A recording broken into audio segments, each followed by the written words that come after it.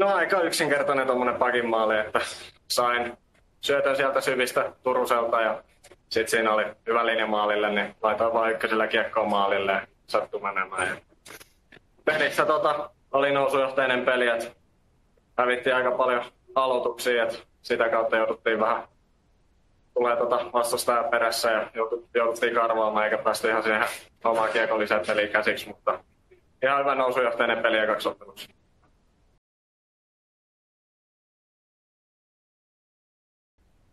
No joo, vähän, vähän taamia alku meiltä, että, että varmasti näköpelaamattomuus monella äijällä, että pitkiä taukoja viimeistä pelistä. Ja tota, mutta positiivista, että koko ajan parannettiin ja kolmas erä oli jo meidän, että, että harmittavaa, että kaveri pääsi tekemään sen ainoa siinä kolmannessa, että se olisi, oltaisiin ansaittu siinä se, mutta tota, ei mitään ihan positiivinen fiilis, että nostettiin tasolukoja.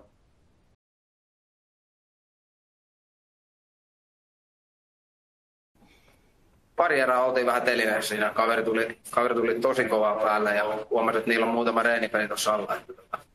Viimeisen erää ehkä tota, saatiin vähän hallintaa ja muutama paikka siihen, niin, niin koitetaan jatkaa siitä.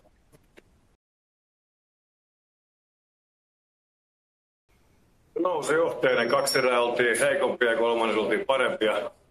Arvio vaan, että ei saatu niistä muutamista huippupaikoista maaleja, että Tsekki teki melkein oikeastaan ainoa Ehkä oli pari paikkaa kolmannessa, mutta, mutta sitten kokonaisuus oli pelissä, kun silleen kaikki erät, erät arvioi, niin hyvin tasainen, tasainen että, mutta meillä on paljon pelaajia, jotka on pelannut kaksi ja puoli kuukautta sitten viimeksi, että sekin on kuitenkin vetänyt kuusi peliä, just koska tämä on seitsemäs vai monessa, että ehkä se vähän siinä alussa näkyy, mutta päästiin pikkuhiljaa peliin mukaan ja rakennellaan. Se on pari, pari hyvää peliä vielä tässä, tässä kolme päivää sisään, niin kertoo varmaan sitten vähän lisää vielä.